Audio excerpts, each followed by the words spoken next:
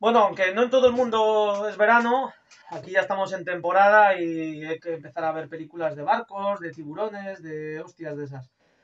Y me ha tocado una que me ha sorprendido que esté en Netflix porque es una película clásica, es una película de los años 50, en concreto del año 53, titulada Ghost Ship, el barco fantasma.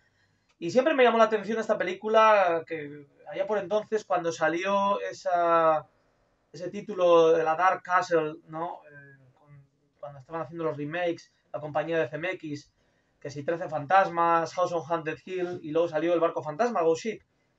Y parecía que venía de esta, que era un remake de esto, pero no, no, no nada que ver. Comparten el nombre y temática porque hay fantasmas, ¿vale? Ya está. No tiene nada que ver. Eh, la película dura poquito más de una hora. Sobrepasa la hora. O sea, que es una película que es corta. Con lo cual, pues no te consumo mucho tiempo verla, por curiosidad. Pero ¿qué, qué tal? ¿Qué tal es la película? Pues a ver, no, es buena película. No es una película ¿verdad? esos que dicen, no, porque el cine de antes era mejor. No, había mierdas también, había cine muy mal hecho y esta película en concreto es una serie B, pues bastante mediocre. Eh, tiene unas cosas muy interesantes que ya comentaré, pero en general eh, tiene bien conocido, bien merecido estar en el ostracismo, ¿no? De la, del desconocimiento. No es un clásico, no es una película popular, ni... No sé, si hay alguno que la habéis visto, pues señalármelo y, oye, pues mira, ¿qué, qué opináis de ella? Y si no, os animo a verla, ¿eh? También, porque mi opinión no tiene que coincidir con la vuestra. Igual decís, bueno, cállate, que tu gusto tal, pero bueno, así os vais guiando. La peli va, al grano. Ahora, os, voy a contar un poquitín por encima para tal. Eh, una pareja deciden comprar un barco y el vendedor, que gilipollas, no se lo quiere vender porque el barco está encantado. No, es que está embrujado, está encantado. Y pues, pues véndemele, gilipollas, y así te deshaces de él. No, porque parecéis buena gente. ¿Qué coño de mierda? Un vendedor de barcos se preocupa de esas, pero vale. Total que le convencen, que sí, que no, que no da igual. Ah, pues bueno, vosotros, vosotros veréis. Y le compra el barco, y total que la mujer ve que ve un fantasma. Empieza, pues estaría borracha o algo. No, no, que ha visto un fantasma. Y él se descojona, que nada, que son tonterías les dicen que uno de los síntomas, de una de las señales es que se huele humo de, cigarro cuando nadie fuma, ¿no? Eh, pero se huele un humo. Entonces finalmente, pues el tipo ve, también ve un fantasma. Y ya, ya está. Y, Oye, ¿qué le he visto? Ya me has convencido. Vamos a llamar pues a, al Warren de turno, a que venga aquí a investigar a ver qué pasa. Y se traen a un fulano que les llega ahí y dice, bueno, pues sí, aquí hay actividad, paranormal, esto, el rollito, habrá que traer una medium. Y trae una vieja así, muy dicharachera ella, una señora mayor, una vieja, ah, se sienta ahí en el camarote, bueno, no sé qué, y empiezan, entra en trance, la tapan con un paño la cara, y entonces hay un flashback de lo que sucedió en ese barco. Entonces ahí nos desvelan un poquitín el misterio, que luego a su vez tiene otro misterio que deja de una manera muy ambigua si hay fantasmas o no. Todo esto en una hora, ¿vale? Y, fin, ya sabéis, además estas películas no iban al grano, no tiene tres finales de, ah, ¿qué es esto? ¿Qué es? No. Fin, lo tomaba por culo. Eh, la película, pues nada, una película en blanco y negro, con planos estáticos, bastante largos en algunos momentos, e innecesarios. El montaje, pues, se puede aligerar.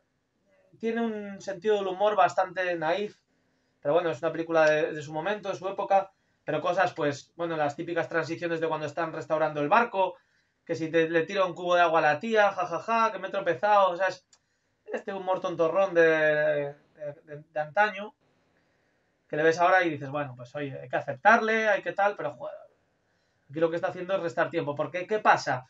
Que la película no es terrorífica, no da miedo. No porque sea antigua, sino porque, eh, o sea, empieza la película y hasta que aparece algo y ese algo no, pretende ni siquiera dar miedo. O sea, por ejemplo, empieza la película con una escena que intente, porque aquí hemos venido a, algo de terror. Si bien no a pasar miedo, a rodearnos, impregnarnos de esa atmósfera, ¿no? Fantasmagórica. Pues yo que sé, puedes empezar con un, no sé, una introducción donde se vea igual algún movimiento raro dentro del barco. Claro, decirlo ahora es fácil también, después de que está hecha la película y más de 50 años después, 60, 70, bueno, casi 80 años. La hostia, yo qué sé. Es fácil decirlo así, pero bueno, va. Es la crítica, ¿no? Hay que ser constructivo, no vale para nada ahora, pero bueno, oye.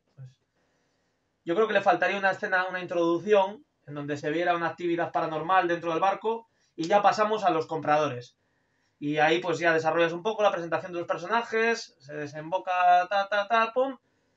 Luego pues en la fiesta, porque los tíos hacen una fiesta de inauguración una vez que está el barco tal, que viene una, oye, que, que hay humo ahí, que y ¿dónde están los no fumadores? Y el tío ya se acuerda, hostia, lo del humo.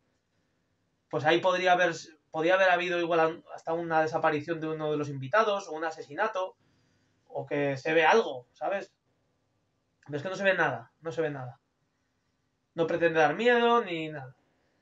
Y luego al final, pues de traca, es que no se ve nada, todo en off. Pero no, no esto no os creéis que es Jack Turner o, yo qué sé, ¿no? Raúl Walsh haciendo juegos con las sombras.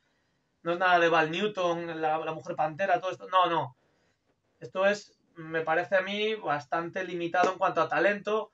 Aunque el señor este, el tal Vernon Sewell, se llama así, yo no le conocía, he mirado su filmografía y luego ha trabajado con gente de la talla de Peter Cushing, ha hecho la película de La maldición del altar rojo, con Christopher Lee, Boris Karloff y Barbara Steele, o sea, tres de los grandes de la época, es la hostia. O sea que, bueno, el tío siguió involucrado, ¿no? Con el cine de terror, el cine fantástico, también tiene una versión de 1972, una versión, una, una de las adaptaciones de Burke and Hare, los dos escoceses estos que eran ladrones de cadáveres, que los vendían y tal. Que luego Yolandis hizo una bastante guapa con Simon Pegg y Andy Serkis en el, papel de Burke and bastante desconocida, una película muy divertida de humor negro dirigida por John Landis en el 2010 o bueno, alrededor de esos años. Y ¿Y qué más? La película, ¿qué cosas buenas tiene? El encanto de el encanto añejo de este tipo de producciones. Y, y poco más, y poco más. O sea, eso sí, hay una escena que a mí me ha encantado, que es cuando el diálogo sobre el escepticismo que tienen con el investigador paranormal me parece la hostia, me ha parecido muy bueno, lo mejor. Cuando están sentados hablando, que ya, pero es que yo no creo en esto, ya, pero bueno, eh, y, en la televisión la ves, yo es que si no lo veo, pero la televisión la ves, pero no ves las ondas que cruzan para no sé qué, el éter y no sé qué, o sea, empieza, le hace como, le da zascas todo el rato, ¿no? Y te hace pensar, te hace reflexionar, hostia, es buena, ¿no? Para convencer a alguien, ¿no? Intentar cortar ahí el vacilón a la peña escéptica y abrirles un poquitín los ojos de cara al más allá, ¿no? De, oye, que algo puede haber, ¿no? Y la película te plantea eso. Ya si tú quieres entrar al trapo y hacer tus propias reflexiones y demás, pues genial. Por lo demás, pues eso, me ha sorprendido que esté en Netflix eh, lo he visto ahí y digo, coño, esta, ¿no? Pues ya la conocía de. Pues de. de, de eso, de que la conoces, que te encuentras con ella porque lees un libro, que la ves ahí, o en internet, en un blog, o yo qué sé. Y seguro que vosotros también la conoceréis, muchos. Pero ¿la habéis visto algunos? ¿Alguno, ¿Alguno la ha visto esta película? Que me lo diga. Y si la vais a ver, también ponérmelo en los comentarios.